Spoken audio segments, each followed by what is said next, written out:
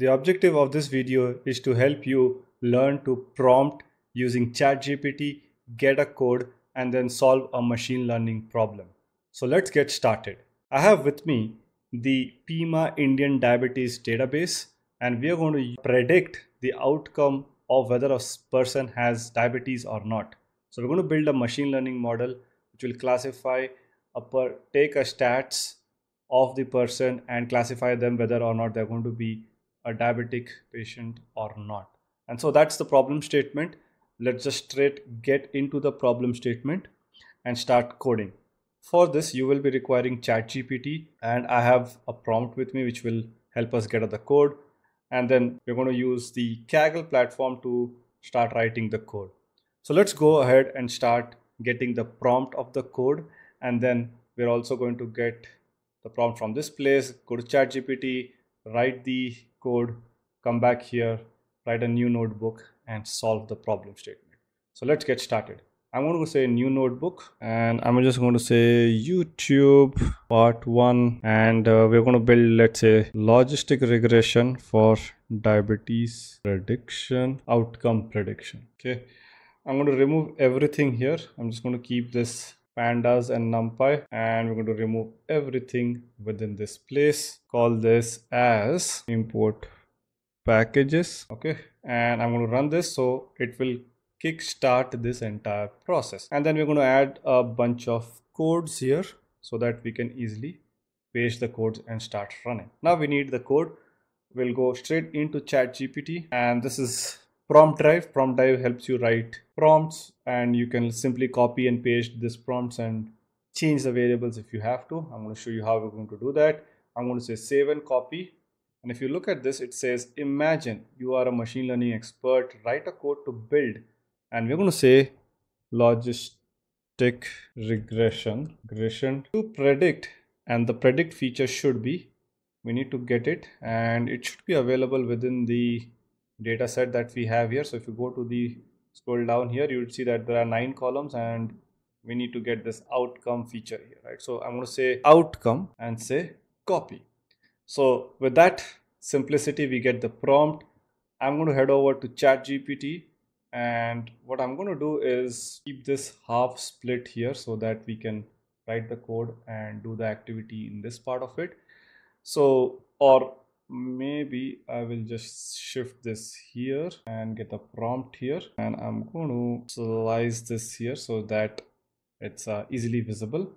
So or we're just going to resize this a little bit to this place and somewhat like this and a little bit on this place. Okay so this is good enough. I'm going to put it here. I put the prompt in here and i say enter. Now with ChatGPT 3.5 it's going to give us a bunch of code. It'll give us the entire code and we just need to simply copy and paste to be able to make this work.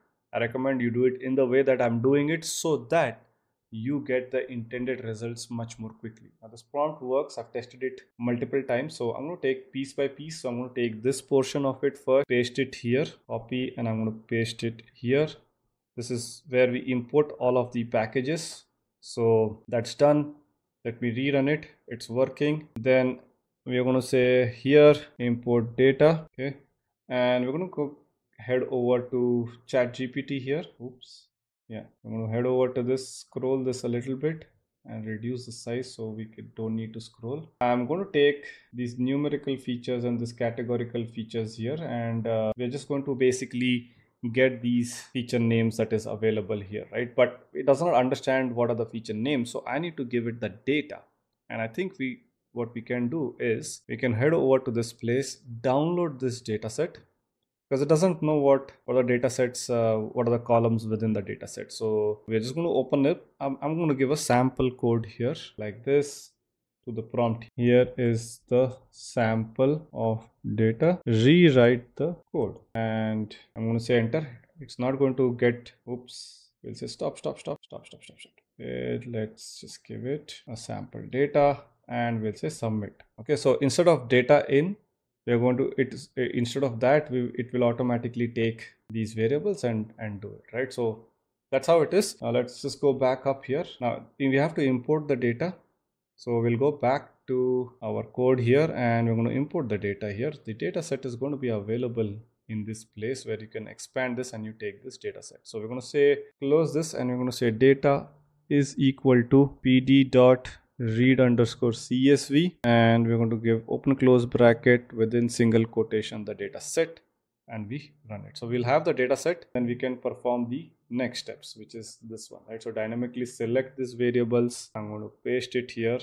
You see numerical features select integers no categorical features. So we're just going to run that. In case it is there what we can do is we can select this and paste it here. Uh, it says include. We are going to say simply exclude. So we will get all the categorical features but nothing is there so it will not happen at this place. So i'm going to just copy this next part which is select the x variable and the target features which is good enough. Then i'm going to do train test split paste it here. And that is how we separately take this information and continue to build our cases. So i'm going to take this entire portion so we can chop it here. So i'm going to take that remove this portion. We don't want any of these explanation lines and we can expand this to to make more space for this one so we'll take this preprocessing standard scaler here. I'm going to take this out cut it paste it below. Similarly take this cut it paste it below and then print all of these metrics and paste it below. So this is a bit of housekeeping that we need to do else the code will become pretty messy. But yeah this looks good.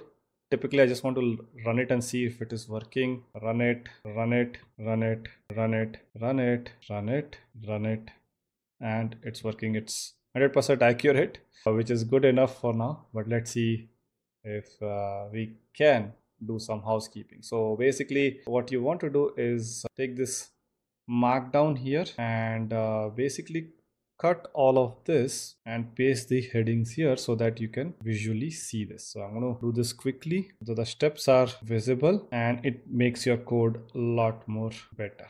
Okay markdown paste it markdown paste it we can take this in a separate one. And code paste it here. Oops we don't require this. Paste it here looks good. The calculations of metrics again markdown and then printing the classification metrics. So we're going to just say this metrics. Okay so this should be able to do it and uh, you you have finally built a model very quickly within using ChatGPT to to code it. So in short, what we did is went to prompt drive, we got our code, pasted it in ChatGPT, modified a little bit, gave the column names, then put that code and chopped it into the relevant headings. And you can just say run all and it will perfectly run nicely and get you the predictions of who is diabetic or not diabetic and this is the train and test accuracy. You will see that the f1 score recall precision all of them are 111 which means we have built the most perfect model for us to be able to run this particular analysis. Now this is how we use chat gpt to write a code quickly and get your starter code. Now with experience you will see that there is a lot of other nuances that come along which you with ChatGPT will not be able to do it. But it has given you a baseline code very quickly. Get started with this, evolve on top of it, or iterate on top of it, and then make your codes or code even faster.